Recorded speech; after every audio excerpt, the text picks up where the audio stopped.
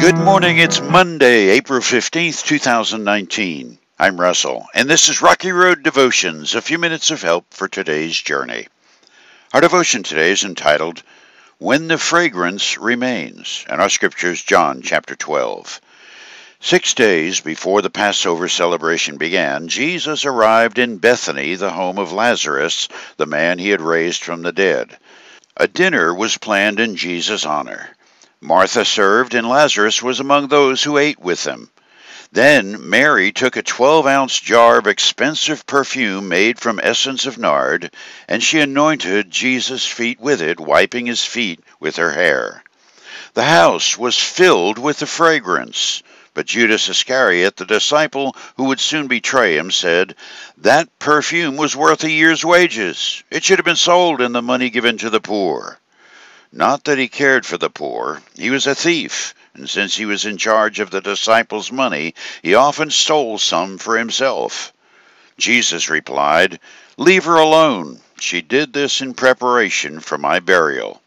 You will always have the poor among you, but you will not always have me.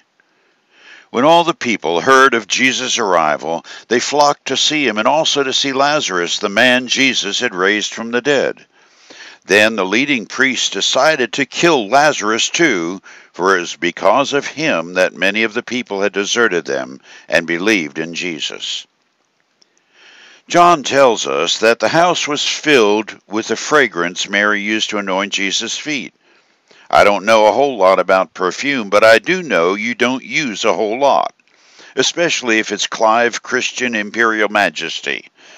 You have to be a serious buyer to even get a price quote. But when it was introduced 15 years ago, the price tag was $215,000 for a 500 milliliter bottle, about the same size as your average water bottle.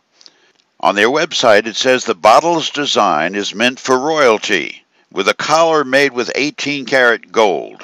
It does not even end there. A 5 carat diamond is stuck to the fabulous golden collar. Each bottle is delivered in a Bentley. Interested buyers ought to order one now since it's a limited offer. Well, I think I'll get a couple. I think Judas would have been interested in that perfume.